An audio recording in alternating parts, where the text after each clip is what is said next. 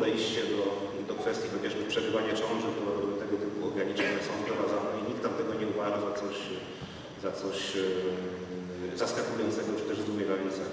Y, Tak, i o tym będziemy rozmawiać w dalszej części debaty. Natomiast y, chciałam jeszcze krótko y, powiedzieć kilka słów o innych projektach, y, żebyśmy mieli całościowy obraz tej sytuacji. Był wspomniany projekt pana posła Bolesława Piechy. Projekt ten zakazuje tworzenia embrionu ludzkiego poza organizmem kobiety, zakłada też tak zwany program ratunkowy dla obecnie zamrożonych embrionów. Y, Z tych embrionów miałyby y, rozwinąć się, y, te embriony miałyby się rozwinąć. Do prac w Sejmowej Komisji Zdrowia został też skierowany projekt autorstwa byłej posłanki, obecnie eurodeputowanej pani Joanny Senyszyn. Projekt ten twierdzi, że należy wyłącznie rozszerzyć, rozszerzyć tę procedurę z szerokim wsparciem finansowym. Został skierowany także projekt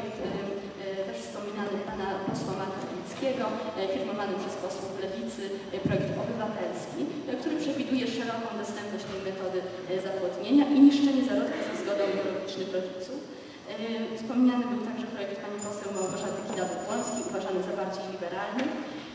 Należy też zwrócić uwagę na ważny projekt, mianowicie zgłoszony także projekt Komitetu Inicjatywy Ustawodawczej o zmianie ustawy kontra in vitro. Stosowania procedury in vitro oraz przewiduje surowe kary za stosowanie tej metody sztucznego zapłodnienia w kodeksie karnym. Y, I nad tym projektem także, o tym projekcie także będziemy wspominać w dalszej części, dalszej części debaty. Y, Moje pierwsze pytanie podstawowe związane z związane z in vitro. Czy, e, czy ta metoda jest w ogóle moralnie uzasadniona, uzasadniona jako sposób nie tyle na bezpłodność, co na bezdzietność?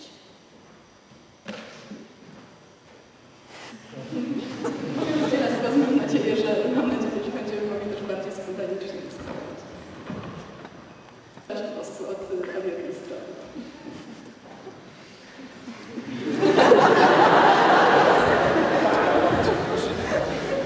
To, e, dzień dobry Państwu, witam e, przegrali z polityką, e, bo to, co się dzisiaj stało, ten skład na sali, to jest dowód na to, że wy młodzi przegraliście z polityką. I tutaj się nie za bardzo jeszcze śmiać. E, Czy moralnie uzasadnione? E, W moim przekonaniu absolutnie tak. Jest to najskuteczniejszy sposób leczenia niepłodności. W niektórych sytuacjach jedyny sposób leczenia niepłodności. Dla niektórych par jedyna szansa na posiadanie dzieci. W moim przekonaniu niepłodność jest chorobą, jest chorobą tak samo ciężką jak cały szereg innych chorób to nieprawda, że to jest dar, bo darem Bożym dobrze jest zdrowy. I jakoś nikt się nie dziwi tym, że jak ktoś ma zapalenie płuc, to się leczy zapalenie płuc. Tak samo darem Bożym jest posiadanie dziecka i darem Bożym jest to, jeżeli poza nie poza ustrojem uda się, żeby ten za- zarodek się przyjął i urodził się z tego dziecka. To jest absolutnie dar Boży. E, I to e, jest jakaś taka dziwna sytuacja w naszym kraju. Bo tak naprawdę to dużo tutaj takich ogólnych ładnych hasł słyszałem, z których, które po prostu mnie no, dobijają, no, łeb się odpada. Jak można mówić o chorobach przenoszonych drogą zapłodnienia pozaustrojowego, porównując to z ryzykiem chorób przenoszonych drogą płciową? Kochanie, każdym, to przepraszam, trzeba mieć papier w tej chwili na prawo do współżycia w takim układzie. Przecież ryzyko przeniesienia chorób drogą współżycia jest wielokrotnie wyższe. To jest argument za, za, za opcją posła to to jest co najmniej śmieszne. Tam jest mnóstwo, mnóstwo, mnóstwo haseł, które Pan przed chwileczką powiedział, jest hasłami takimi bardziej ideologicznymi niż rzeczywiście uzasadnionymi. Proszę Państwa, absolutnie jest to metoda, która ma swoje uzasadnienie. Na sali w tej chwili no niestety, proszę Państwa, tak jakbyśmy patrzyli, to tamten kącik będzie miał problem z płodnością. Tamten... Ja nikomu z Państwa tego nie życzę, ale statystyka jest obrzydliwa.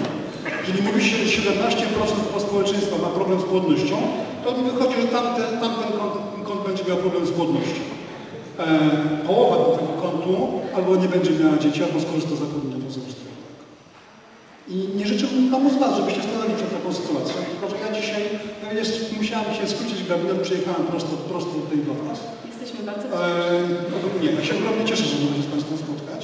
Tylko, że ja dzisiaj dwóm pacjentkom dałem skierowanie do ośrodka, który no, prowadzi pozaustrojowego. Eee, I to jest taka skala zjawiska. No tak, został tutaj wywołany pan doktor Leszek Bosek yy, yy, tymi zarzutami. Znaczy szkoda, że Pan Profesor nie powiedział, co konkretnie ma na myśli, mówiąc, które argumenty były nierzetelne. Na No, przykład bo- nierzetelność bo nie, o chorobach przenoszonych, e, o chorobach, które są konsekwencją zapomnienia no, ja nie mówiłem o zapomnieniu pozorustrojowym, tylko o wspomaganej prokreacji. To jest zasadnicza różnica, panie profesorze.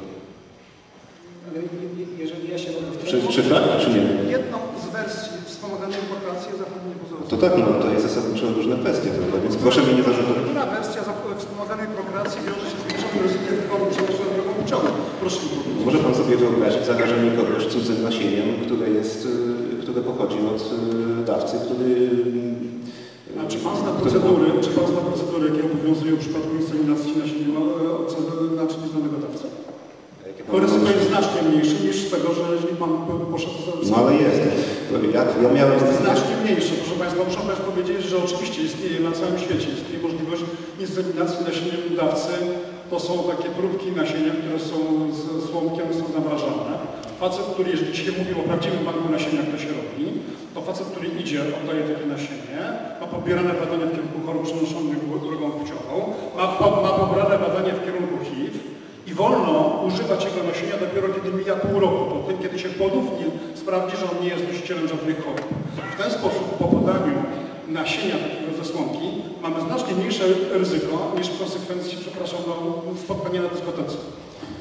Właśnie proszę Państwa, to pokazuje, jak trudna jest dyskusja pomiędzy filozofami, e, prawnikami i lekarzami, dlatego że bardzo często operujemy... Przynajmniej wiem, o czym mówimy. No właśnie, o to chodzi.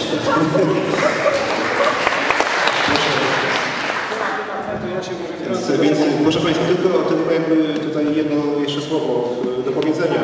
To jest podstawowa przesłanka ochrona zdrowia publicznego, podstawowa przesłanka całej legislacji unijnej, właśnie ze względu na te zarażenia, których, których Pan Profesor, ich, ich ryzyko, które Pan Profesor był e, łaskawy dostrzec w drugiej części swojej wypowiedzi. E, Czy się z tym zgadzamy, czy nie, czy to ryzyko jest małe, czy duże, to jest jakby zupełnie inna dyskusja, ale ono, ono jest, jest dostrzegane i trudno zarzucić jakieś tutaj ideologiczne zacięcie Komisji Europejskiej czy Parlamentowi Europejskiemu. E, Taka jest rzeczywistość. Polska ma obowiązek e, implementować te dyrektywy. Ten obowiązek e, wyczerpał się w roku 2006. Jesteśmy 3 lata, 3 lata po terminie. E, I po prostu musimy to zrobić. Czy będziemy e, to robić w taki czy inny sposób, to oczywiście powinien być przedmiot dyskusji, ale nie takiej dyskusji, która zakłada, że ktoś, e, że ktoś używa nierzetelnych argumentów, wtedy nie ma dyskusji. Pracy nie obowiązują. Oczywiście. Dobrze, więc ja jestem ani prawnikiem, ani lekarzem, natomiast jestem filozofem, w związku z tym rozumiem znaczenie słów.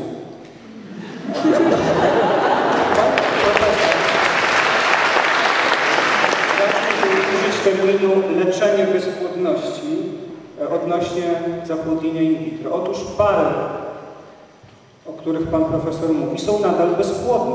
One mają dziecko, ale są nadal chore na bezpłodność. Nie są wyleczone. To jest bardzo istotna informacja. W związku z tym znaczenie słów jest takie.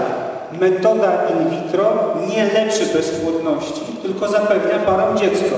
To jest zupełnie co innego. To jest tak jak adopcja nie leczy bezpłodności, tylko powoduje, że rodzice mają dziecko. I to jest pierwsze. E, To jest pierwsza informacja o znaczeniu słów, których używamy i które są bardzo ważne w tej debacie, bo bez nich wpadamy w bardzo, bardzo emocjonalny bełkot. Panie profesorze, pozwoli Pan, że skończę. To jest pierwsza rzecz. Druga rzecz jest taka, Pan profesor mówi, są ludzie, którzy mają takie potrzeby i trzeba je zaspokajać. Otóż nic takiego w moralności nie istnieje, jak stwierdzenie, jeśli istnieje potrzeba, to należy ją zaspokoić. Bo jeśli istnieje potrzeba, potrzeba posiadania potomstwa jest jedną z najsilniejszych i najbardziej szlachetnych, to po pierwsze nie oznacza, że, że trzeba ją zaspokoić, a po drugie nie oznacza, że każda metoda jej zaspokojenia jest metodą moralnie godziwą. Tak jest w przypadku na przykład równie silnej potrzeby, jaką jest potrzeba erotyczna. Fakt, że my mamy potrzebę erotyczną, nie oznacza, że zawsze mamy prawo ją za, zaspokoić, albo że każda metoda zaspokojenia naszej potrzeby erotycznej jest godziwa. Gwałt nie jest metodą godziwą, trzeba to powiedzieć jasno, i podobnie jest z metodą in vitro. Nie jest metodą godziwa, godziwą zaspokojenia szlachetnej, bardzo szlachetnej i bardzo ludzkiej e, potrzeby. I teraz dlaczego nie jest godziwą? Podstawowym jest ten powód, o którym mówił pan doktor Leszek Posok. Otóż w wyniku tej metody Powstają wprawdzie dzieci, to jest prawda.